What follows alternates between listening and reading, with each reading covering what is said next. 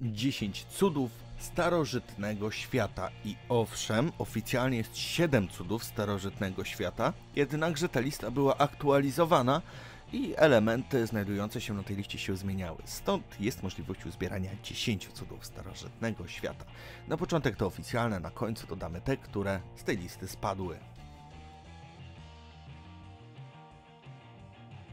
Piramida Cheopsa Piramida znajduje się w Egipcie na płaskowyżu w Gizie. Zbudowana w okresie Starego Państwa około 2560 roku przed naszą erą z przeznaczeniem na grobowiec faraona Cheopsa, prawdopodobnie według projektu Hemona. Wielka piramida została postawiona na sztucznie wyrównanym terenie. Zmierzone różnice poziomu wynoszą do 2 cm. Boki kwadratowej podstawy ustawione są względem stron świata z dokładnością 4 minut kątowych.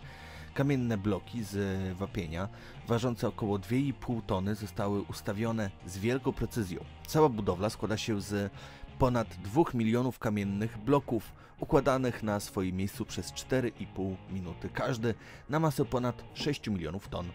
Do budowy komór użyto także granitowych bloków ważących do 80 ton pochodzących z Asuanu. Piramida była pierwotnie pokryta w całości wykonaną z głodzonego wapienia warstwą zewnętrzną. Z okrywy tej pozostały jedynie nieliczne fragmenty u podnóża piramidy. Pierwotna wysokość budowli wynosiła 146 metrów, współcześnie w wyniku utraty piramidionu i erozji liczy 138 metrów. Jest to jedyny z siedmiu oficjalnych cudów świata, który przetrwał do dziś, chociaż w średniowieczu pozbawiono je ulicówki, a już w starożytności zrabowano skarby. Wiszące ogrody Semiramidy zostały zbudowane na polecenie wielkiego króla, który podarował je swojej żonie Ametis w Babilonie. Niezwykłość wiszących ogrodów budziła podziw wszystkich ludzi współczesnych, a także zdumienie i wielkie zainteresowanie potomnych. Opisywali je często historycy greccy, a od czasów Aleksandra Wielkiego zalicza się je do siedmiu cudów świata. Zostały zbudowane na polecenie wielkiego króla, który podarował je swojej żonie, ponieważ po przyjeździe do Babilonu bardzo tęskniła za bujną zielenią ojczystego kraju, Medii. Niejasne jest, dlaczego nazwano je imieniem Semiramidy, asyryjskiej królowej, która żyła dwa wieki wcześniej. Założono je na wznoszących się tarasach i podtrzymywanych specjalną konstrukcją, która utworzyły szeregi wąskich, coraz wyższych korytarzy sklepionych kolebkowo. Wiszące ogrody Semiramidy zostały zniszczone przez trzęsienie ziemi w I wieku przed naszą erą. Świątynia Artemidy w Efezie, dla starożytnych Greków jeden z siedmiu cudów świata, znana pod nazwą Artemizjonu. Stanowiła największą ozdobę Efezu w Azji Mniejszej, obecnej Turcji. Była to świątynia o wymiarach 130 na 69 metrów, zbudowana na rozkaz króla Lidii Krezusa około 560 roku przed naszą erą. Najprawdopodobniej stanęła na miejscu wcześniejszej budowli zniszczonej podczas najazdu Kimerów. Zdaniem Pliniusza świątynia była 9 razy budowana i burzona. Jeska świątynia została zaprojektowana przez architektów z Knossos. Do jej budowy użyto doskonałej jakości marmoru i cedru libańskiego. W 356 roku przed naszą erą świątynię spalił szewc w nadziei, że ten występek unieśmiertelni jego imię. I tak się stało. Jego imię jest znane do dziś, ale ja go nie powiem, żeby nie spełniać jego prośby. Świątynię chciał odbudować Aleksander Wielki. Mieszkańcy Efesu nie przyjęli jego warunku, jakim było umieszczenie w świątyni inskrypcji sławiących jego imię. Propozycja została odrzucona słowami Aleksandrze, nie wypada, żeby jeden Bóg stawiał świątynię drugiemu Bogu, bowiem wyznawcy Artemidy nie widzieli możliwości oddawania w jednej świątyni hołdu dwóm bogom.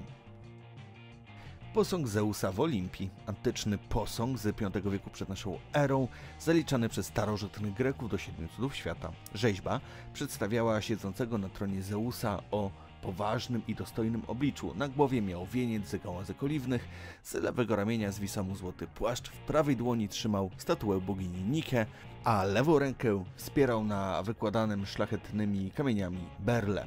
Na rzeźbionych oparciach i nogach tronu ukazano postaci bogów i sceny bitewne. Szaty włosy Zeusa wykonano ze złota, obnażone części ciała z kości słoniowej. Tron z drewna cedrowego wykładanego hebanem i szlachetnymi kamieniami.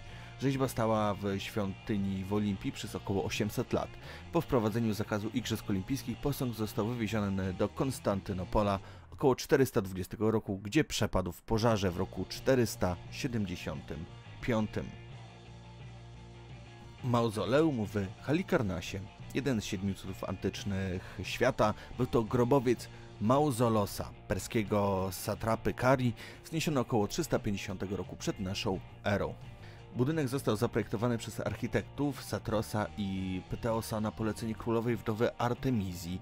Ozdobili go natomiast rzeźbiarze z Kari. Mauzoleum nie przetrwało do naszych czasów, zaniedbana budowla pod wpływem upływu czasu, działań ludzkich i trzęsień ziemi stopniowo popadła w ruinę.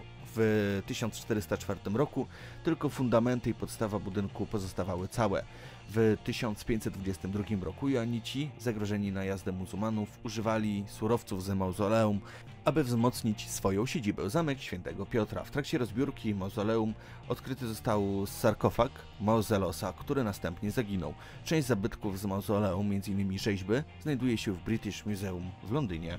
W 2017 roku jedna z organizacji ogłosiła podjęcie starań o odbudowę mauzoleum. Kolos rodyjski. Olbrzymich rozmiarów posąg Heliosa, greckiego boga słońca, wybudowany na wyspie Rodos przez Haresa z Lidos w latach 294-282 przed naszą erą.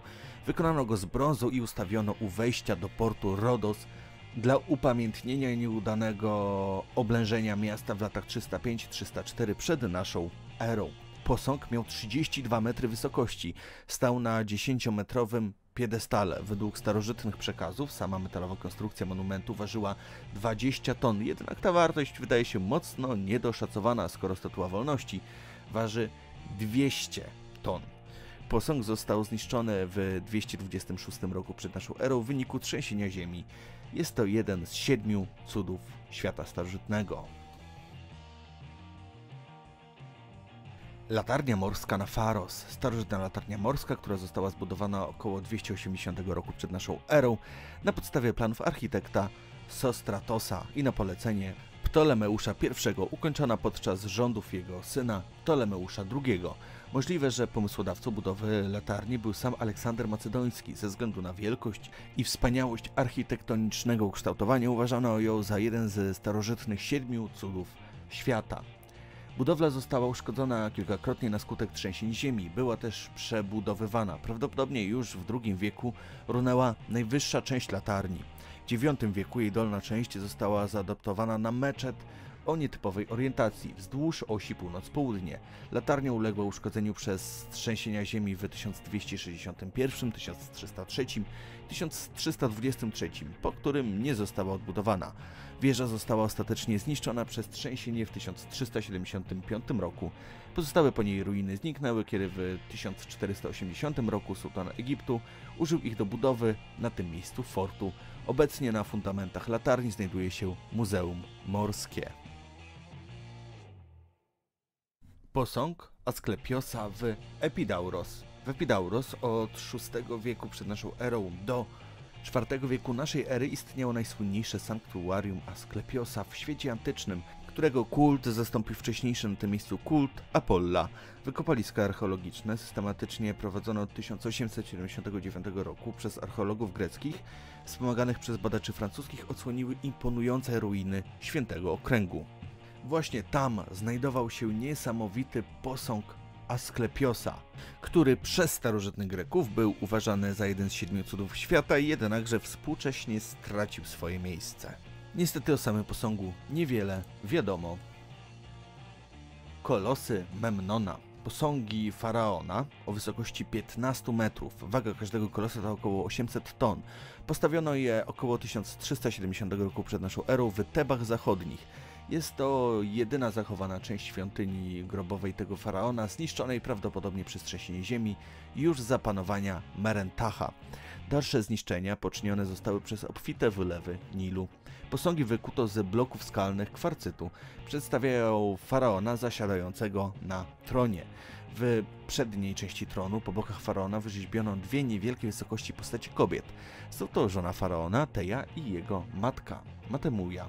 Jeden z posągów po uszkodzeniu spowodowanym przez trzęsienie ziemi wydawał dźwięki podczas wschodu słońca. Było to spowodowane ogrzewaniem się skał wyziębionych nocnym chłodem. Posąg był odwiedzany w starożytności przez Greków. Wierzono bowiem, że przedstawia syna Jutrzenki, Memnona, zabitego przez Achillesa. Wydawane dźwięki interpretowane były jako skarga syna wznoszona do matki. Usterka ta została naprawiona na przełomie II i III wieku, zaś naprawa spowodowała, że posąg przestał wydawać dziwne dźwięki. Brama Isztar. Brama w Babilonie, zniesiona za panowania jednego z królów i poświęcona bogini Isztar. Była ona północną bramą miasta, otwierającą tzw. Tak drogę procesyjną. Obiekt tworzyły w zasadzie dwie bramy połączone przejściem, czyli był to tzw. Tak obiekt bramny, składający się ze czterech wież na planie kwadratu, zwieńczonych krenelarzem, który zresztą był również na murach łączących wieże.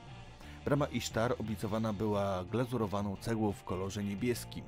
Obecnie prawdziwa brama Isztar znajduje się w muzeum w Berlinie. W Iraku natomiast wykonano jej replikę będącą tam dużą atrakcją turystyczną Babilonu. Dzięki za obejrzenie do końca. Mam nadzieję, że ten odcinek Wam się podobał. Dajcie znać w komentarzu, o czym chcecie kolejną dyszkę i zapraszam Was na moje dwa pozostałe kanały, a to ciekawe oraz światowa historia. Trzymajcie się. Cześć.